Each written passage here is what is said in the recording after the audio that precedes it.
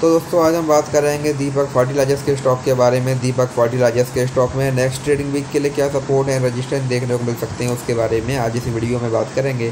हम अगर यहाँ पर स्टॉक की बात करें तो हम देखेंगे जो ये स्टॉक है, ये हमको पहले यहाँ पर लगातार के लिए डाउन ट्रेंड में देखने को मिल रहा था। पहले हमको स्टॉक में लोअर लो लोअर हाई वाला पैटर्न यहाँ पर देखने को मिल रहा था।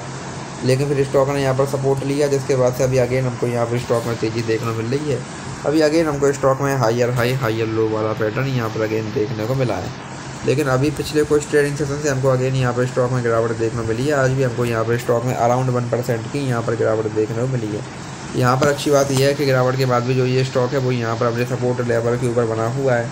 तो यहाँ से अभी अगेन हमको स्टॉक में रिकवरी भी देखने को मिल सकती है। यहाँ से अगर अभी स्टॉक में रिकवरी आती है तो यहाँ से रिकवरी की कंडीशन में हमारे पास यहाँ पर स्टॉक में सिक्स ज़ीरो सेवन का पहला यहाँ पर रजिस्टेंस देखने को मिलेगा। अगर स्टॉक इसको ब्रेक करता है देन यहाँ से हमको स्टॉक में सिक्स थर्टी फोर और अगर स्टॉक ने इसको भी यहाँ ब्रेक किया देन यहाँ से हमको स्टॉक में अगेन एक अच्छी तेज़ी, एक अच्छी बाइंग यहाँ पर देखने मिल सकती है।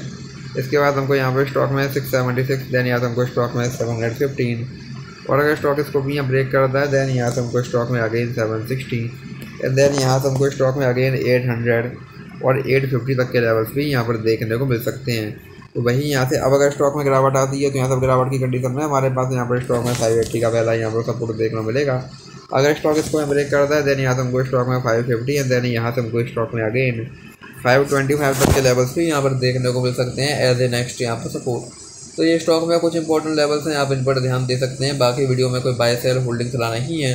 वीडियो केवल एजुकेशनल पर्पज़ के लिए है, धन्यवाद।